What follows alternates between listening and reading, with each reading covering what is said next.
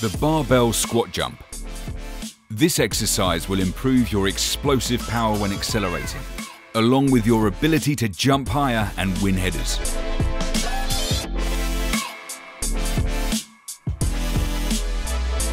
Position the barbell across the back of your shoulders.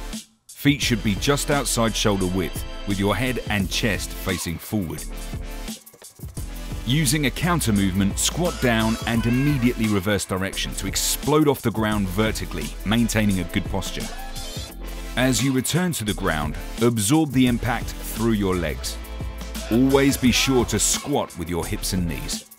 Try 3 to 5 sets of 5 reps, with 60 seconds recovery between sets.